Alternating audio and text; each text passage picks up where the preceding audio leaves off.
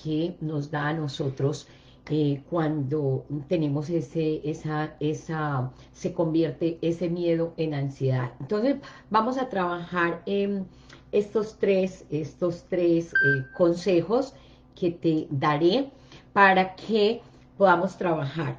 Entonces, lo, lo, primero, lo primero que te, que te quiero decir es que eh, hemos estado hablando de lo que mm, es el miedo.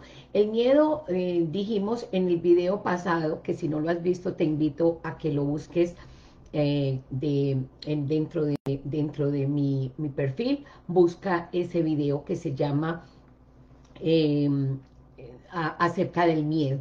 Entonces, uno de los, de, los, de, las, de los consejos que quiero darte hoy, dame un segundo que por acá, hola, ¿cómo estás? Por aquí me están escribiendo, aquí estoy en Instagram Live y acá estoy en Facebook Live, así que voy a estar mirando en diferentes partes para que sepas.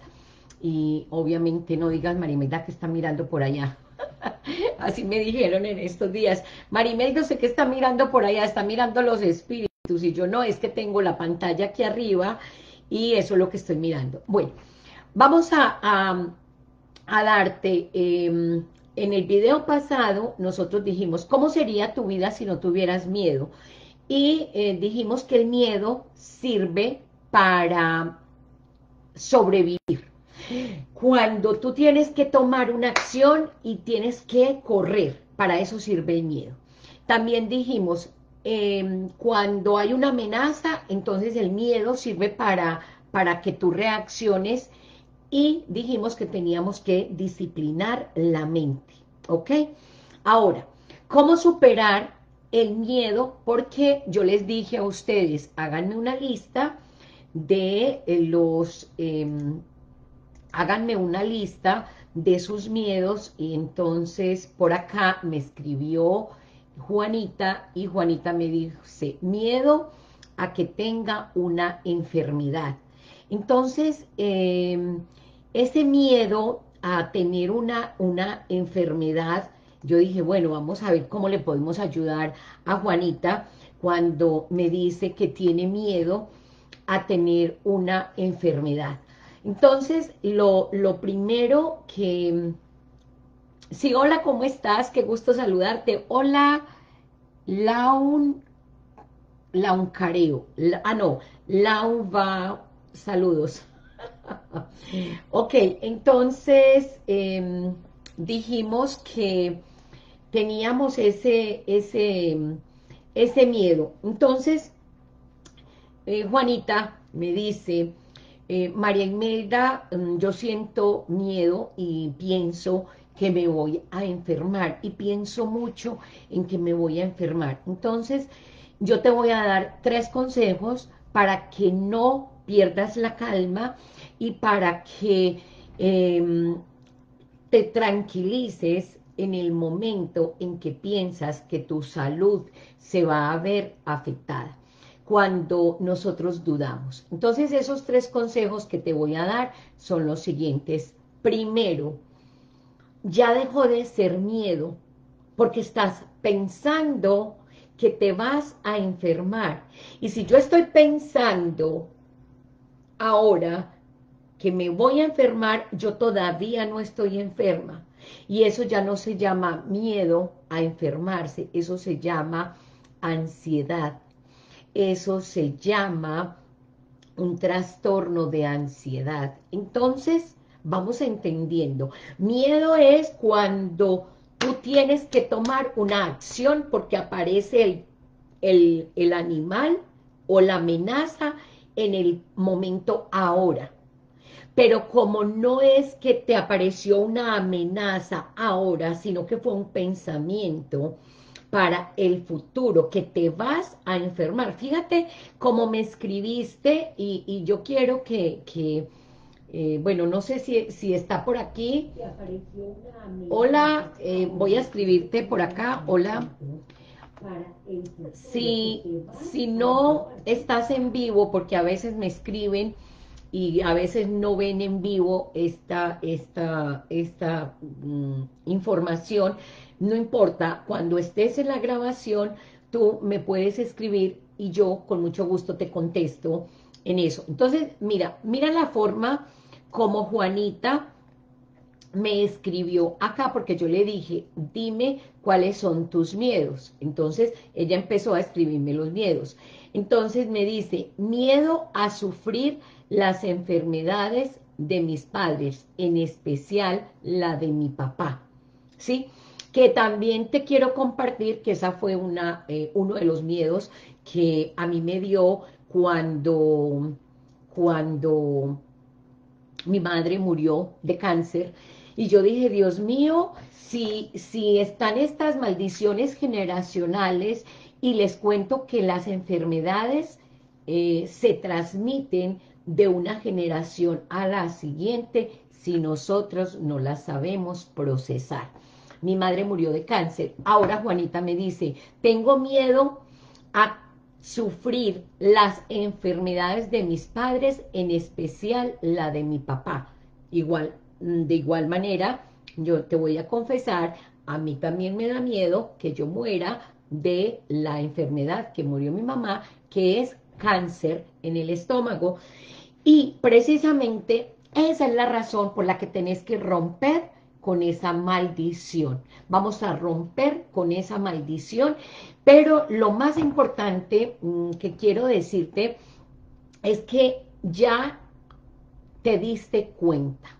Cuando tú escribes y cuando tú me mandas y me dices, Marimelda, sí, reconozco un miedo y este miedo es a sufrir la enfermedad de mi padre, especialmente la de mi padre, ya estás siendo consciente. Ahora, te voy a dar tres consejos para que tú puedas tener calma, para que no pierdas la calma y para que no te desesperes. El primer consejo es entender que no es miedo, porque el miedo es para que tú reacciones inmediatamente. Aquí lo que tienes es un trastorno de ansiedad. Entonces ya cuando le damos el nombre, ya la ansiedad, ah, entonces no es miedo, no, no es miedo porque el miedo es bueno para sobrevivir. Ay, entonces, ¿cómo se llama lo que tengo? Eso se llama ansiedad. Ah, entonces el cerebro, cuando le damos claridad en el concepto, él dice, ah, entonces, ¿qué es ansiedad?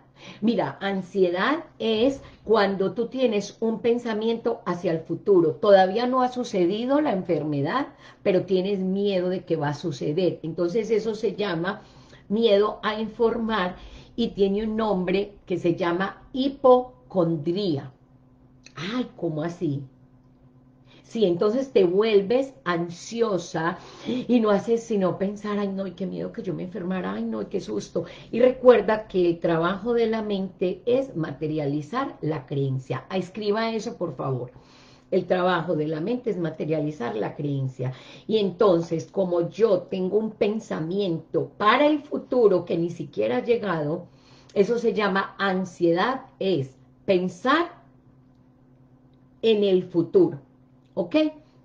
Entonces, lo primer, primer consejo, entiendo que no es miedo, entiendo que es ansiedad, porque estoy pensando para el futuro, y el trabajo de la mente es materializar la creencia. Por lo tanto, yo, ¿qué tengo que hacer?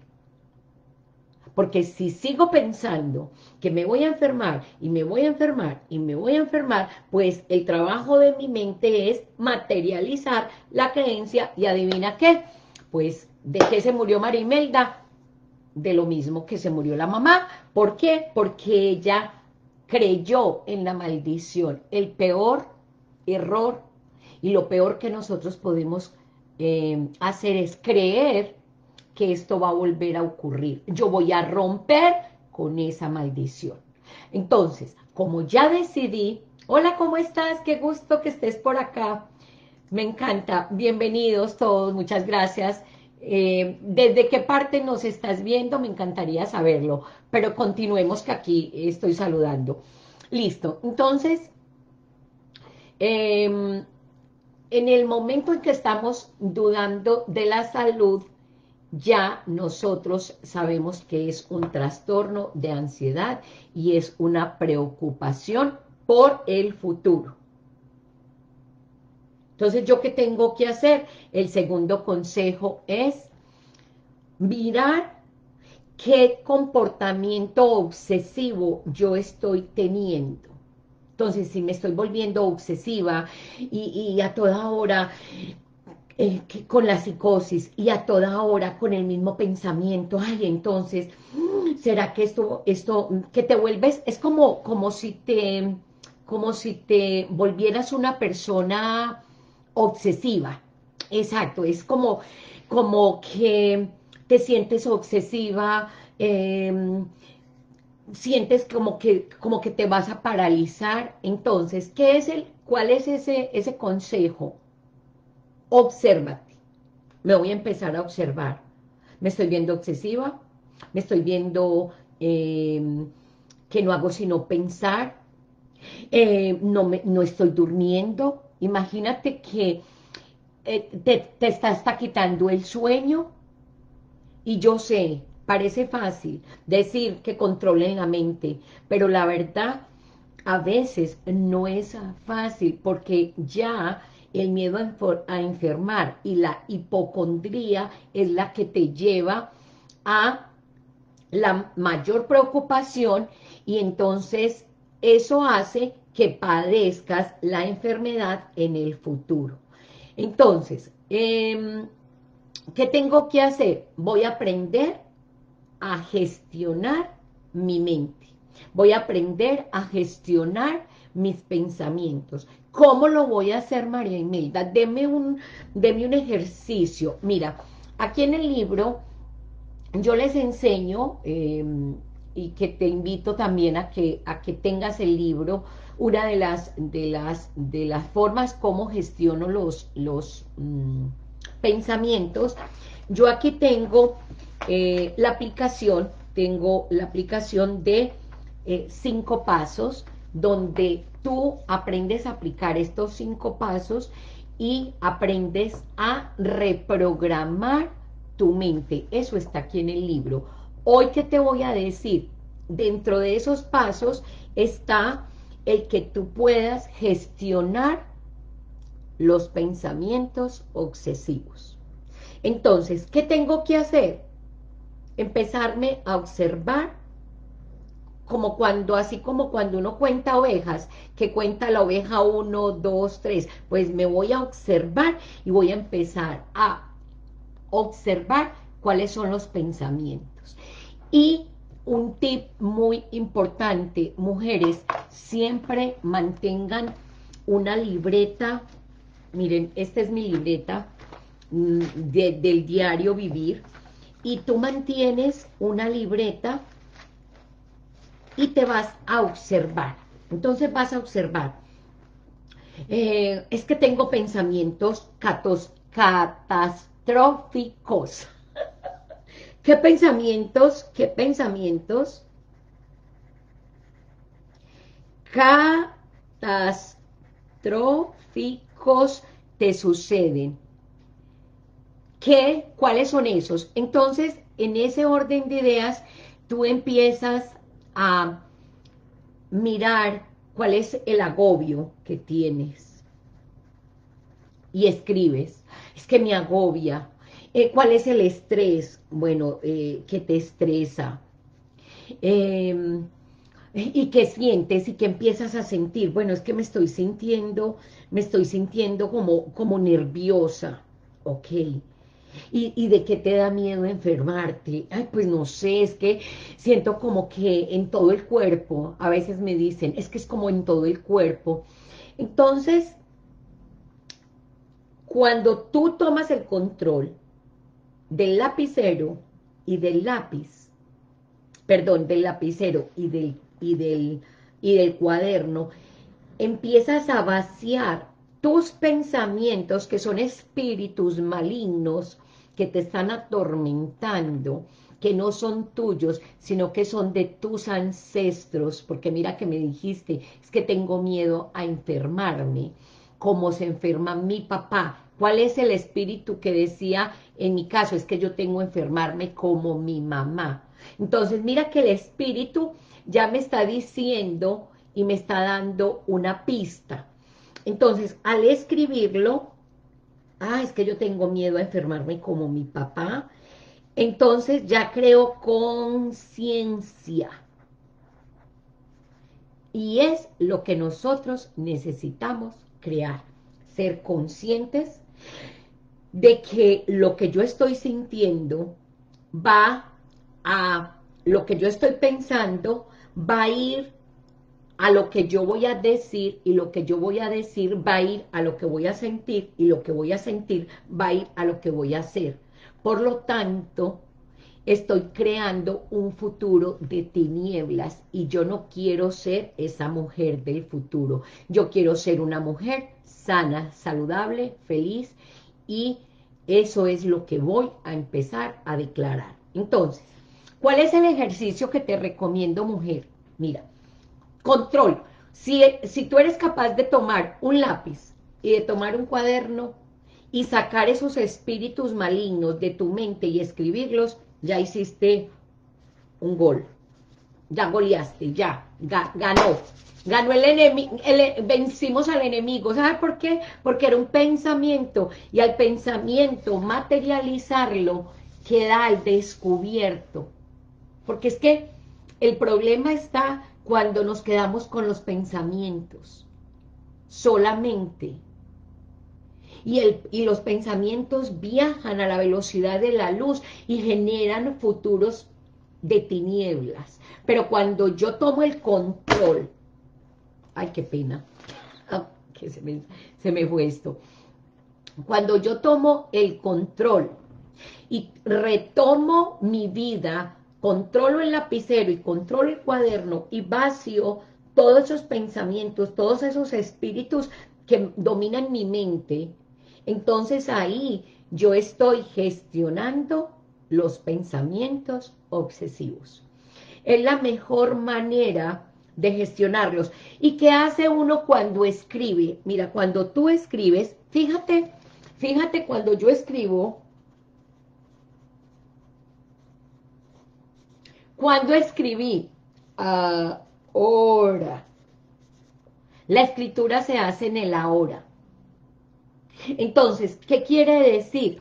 Que yo estoy tomando control ahora, en el presente, y yo domino mis pensamientos y yo gestiono mis pensamientos obsesivos y entonces ¿Qué hiciste? Disipaste un pensamiento que estaba divagando, que estaba ah, yéndose para todos los lados y le tomaste control con el lapicero porque uno solamente escribe ahora. Ahora,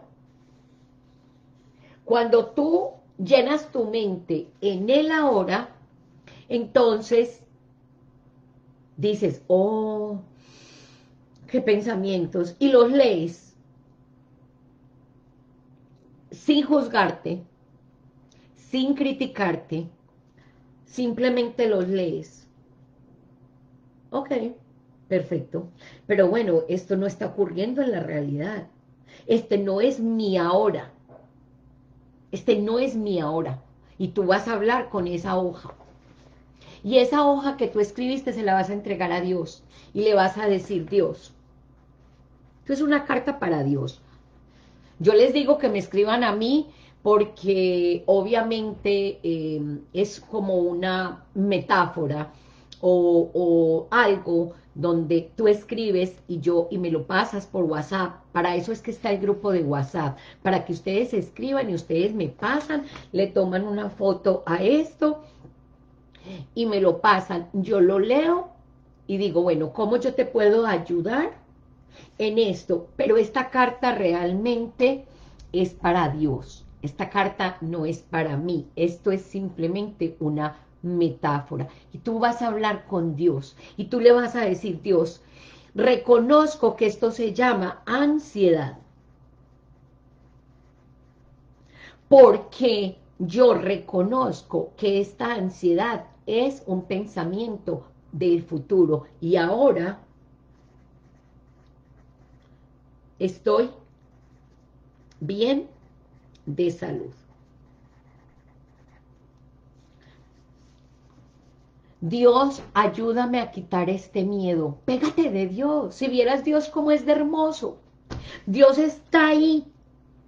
Haz, de Dios esa guía, ese, ese protector. Haz de Dios ese, ese altísimo lugar de protección. Y entonces le dices, Dios, esto es una ansiedad, esto no me está ocurriendo ahora, esto es un pensamiento que tengo hacia el futuro y hoy te lo entrego, llévatelo, llévatelo. Entonces, toma aire profundo, yo siempre sugiero tomar agua,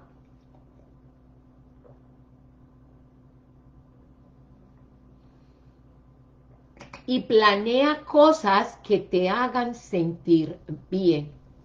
Ya te di más de tres consejos. Planea cosas que te hagan sentir bien para superar esa ansiedad, para superar eh, eh, esa angustia y eh, empieces a planear cosas positivas. ¿Por qué te da miedo de enfermarte? ¿Por qué mejor no empiezas a planear una mujer del futuro feliz, una mujer del futuro saludable, una mujer del futuro, empieza a crear una mujer del futuro llena de vitalidad, empieza a crear esa mujer ya hoy. Entonces, en lugar de tener ansiedad, empieza a llenarte de pensamientos que sean positivos y que te ayuden a sentirte bien. Por ejemplo, puedes pensar en, em, en un paseo, podemos de pronto irnos a caminar, tú que vives en el campo. Hay mucha gente que vive en el campo y que a veces nosotros que vivimos en la ciudad quisiéramos tener el campo. Yo no sé si a ti te pasa que vives en el campo y dices que pereza el campo, hay aire limpio, hay aire, hay aire puro. Entonces, váyase y dé una caminada por el campo. Y resulta que cuando tú das una caminada por el campo, con el aire puro, la caminada te hace bien para el, para el cuerpo, estás haciendo ejercicio, el respirar, estás oxigenando tus neuronas, al exhalar, eliminas las toxinas y empiezas a dar gracias por la vida, gracias por la vida que me ha dado tanto y gracias a Dios porque ya le entregué mis problemas y Él trabajará y luchará con esos espíritus malignos, porque yo no tengo poder sobre esos espíritus, ya se los di a Dios, y Dios es el que pelea la batalla espiritual por mí, no yo, yo no peleo con los espíritus malignos, yo se los entrego a Dios. ¿Cuándo se los entrego? Cuando escribí. Porque cuando yo escribo, tomo el control y retomo mi vida. Me relajo y me voy a caminar. Esto ya vacié mi mente en el papel, eh, el control. Hola, ¿cómo está mi Marta hermosa? Qué rico que estás acá. Me alegra muchísimo, me encanta. Em, me fascina eh, que, que estés aquí porque realmente no sé hasta qué punto escuchaste eh, te voy a hacer un pequeño resumencito de, de, de, lo que hemos visto hasta ahora en este momento, eh, bueno, ya te di más de tres consejos, te recomiendo que si acabaste de llegar, eh, te veas, el, eh, vuelvas a ver esto desde el principio, pero te voy a dar tres consejos para no perder la calma al momento en que dudas que te vas a enfermar. El primero es entender que esto no es un trastorno, que esto no es miedo a enfermarte, sino que es un trastorno de ansiedad. El segundo es gestionar tus emociones. Y el tercero es concentrarte en el ahora. Esos son los tres consejos que quiero darte y si no habías entrado, pues ya te pones como al día. Ahora, ¿qué más te dije? Esos fueron los tres consejos básicos. ¿Qué más te dije? Bueno, vas a... Gracias. Ok, perfecto. Entonces, ¿qué más te dije? Vas a, decir, por ejemplo, tengo miedo de enfermarme como, se especialmente como se enferma mi papá. Entonces, vas a tomar el control con el lápiz y el cuaderno.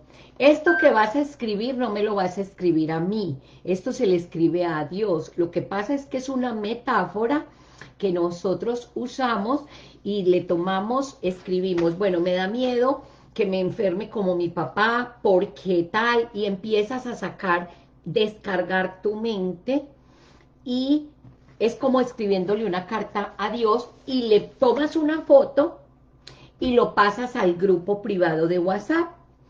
Ahí tú, todas vamos a leer lo que pasaste, yo voy a leer lo que pasaste y eso te va a quitar la ansiedad porque ya sacaste a la luz la oscuridad que había en tu mente. Eso es lo que significa escribir, es que sacas a la luz, saca la, la mente tiene espíritus malignos que tienen fuerza de oscuridad sobre el árbol familiar. Y yo, al tomar control de el lápiz y el papel, saco a la luz, al ponerlo en el grupo, al tomarle la foto, esto ya no es un secreto, esto ya está revelado, esto ya se hizo una revelación y se le dice a Dios, Dios, Reconozco que esta es una ansiedad que tengo, porque estoy pensando para el futuro, y si yo tengo una preocupación para el futuro, se llama ansiedad, pero si yo hago de ti, Señor, tu tu refugio y mi lugar de salvación, a mí nada me pasará, porque tú mandarás a tus ángeles para que me cuiden y no tropiece con piedra alguna y no llegue la enfermedad a mi casa. Así que confío en ti, Señor. Te recomiendo el Salmo 91. Yo siempre les recomiendo el Salmo 91 a todas, eh, porque esto tiene fuerza y esto tiene poder. Y luego, entonces, retomo mi vida, me relajo y me voy a caminar. Entonces, ¿qué vamos a hacer? Vamos a hacer planes para sentirnos muy, muy bien. Vamos a hacer planes y qué rico que vives en el campo. Yo no vivo en el campo, yo vivo en la ciudad, pero yo me puedo ir para un parque, eh, hay unos parques que quedan acá cerca, me voy bien abrigada porque está muy frío en el caso mío, en el caso tuyo vives en, ¿en dónde vives? Vives en Colombia, vives en Caldas, vives en, en México, donde no hay tanto frío, te vas a caminar, vas a respirar aire puro, vas a, mirar el sol, vas a mirar las, los árboles, vas a programar y vas a planear una vida de salud para sentirte bien. Y esas actividades gratificantes te van a liberar y tú ya compartiste esto, ya se lo entregaste a Dios, ya no lo compartiste a nosotras, ya no nos va, nosotros no nos juzgamos, nosotros no nos criticamos y el espíritu maligno se va. ¿Por qué? Porque quedó a la luz. Mira, si tú pones un, un rayito de luz a la oscuridad, deja de ser oscuridad. Eso está comprobado científicamente. Entonces, voy a planear y me voy a anticipar al éxito. Y entonces, otra, otro tip, bueno, tengo muchos, ya voy a terminar, porque hoy no me quedo aquí. Otro tip, vas a empezar a tener una actitud de poder. Recuerda que el cuerpo tiene que estar ergido, saca pecho y me voy a caminar porque yo soy y me voy a anticipar al éxito. Y entonces tengo esa sensación de éxito que va a venir el éxito. Y yo no sé por qué pero yo me siento que el éxito me va a llegar. Hay algo, yo, yo, yo lo veo, yo lo siento. Y, y yo estoy tan contenta y estoy tan feliz y estoy tan bendecida y estoy tan agradecida. Y gracias que vivo aquí en el campo. Ay Dios tan lindo, tan hermoso. I love you so much porque tú que vives en el campo vas a sufrir menos que nosotros que vivimos en la ciudad en el momento de una enfermedad, para que sepa. Que, que, a veces creemos que, que, los que viven bien son los del pueblo, los de la ciudad, y mírenme en estos problemitas que hubo en estos días, a ver quiénes no se beneficiaron más. Si ustedes que tenían los huevos de las gallinas, que tenían eh, eh, los sembrados, o a nosotros que no nos llegó nada y que todo se acabó. Entonces, vamos a cambiar, vamos a anticiparnos al éxito. Y bueno, mujeres, ya terminé por hoy, porque si no me quedo mejor voy a guardar eh, más consejos para esto. Te invito a que te leas este libro. Les cuento que el libro va a estar en Amazon para, em, a ver, les voy a dar la fecha de publicación en Amazon va a estar para el 15 de abril, publicación en Amazon. En Amazon. Y voy a dar un precio especial para que estés listo para ese día. Y ahora, en este momento, puedes entrar al grupo de WhatsApp para que seas parte de nuestro grupo privado aquí en la Escuela Cuántica Mía, de este eh, reto de romper maldiciones generacionales que eh, estamos trabajando todas unidas. Bueno, entonces, eh, estos tips es para que los practiques right now, ahora.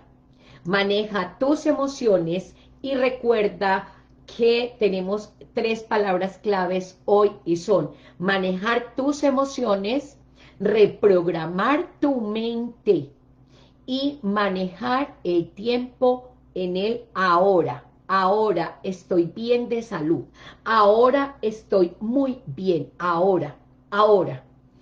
Em, espero que estos tips o estos consejos eh, los, los practiques eh, y los lleves a cabo. Ahora nos vemos en la próxima. Chao, espero que te haya servido y me cuentas si los aplicaste de ah, donde vivo hace mucho, mucho calor. Ok, perfecto. Imagínate que donde vives hace mucho calor, entonces qué rico. Em, te vas con una camisa fresca, te pones una, un sombrero, eh, te llevas tu agua y escuchas música, una música que te guste, y camina al menos un cuarto de hora de ida y un cuarto de hora de venida, ya caminaste media hora, ya hiciste ejercicio, el ejercicio te revitaliza el cuerpo y te estás anticipando para el, el éxito. ¡Chao! O si no, aquí me quedo, chao. Se, se despide más que, que quién sabe qué. Se despide, se despide mucho la María Imelda. Chao, mi Marta hermosa, te quiero mucho. Espero que practiques este, que practiques esta, estos tips que te acabo de dar y escríbeme. Em, acuérdate, pasa, toma la foto, especialmente tengo miedo de enfermarme de, de la enfermedad de mi padre, me escribes, toma la foto, que ahí vamos haciendo esa, esa, esa forma o esa forma de reprogramarnos. Que estés muy bien, chao.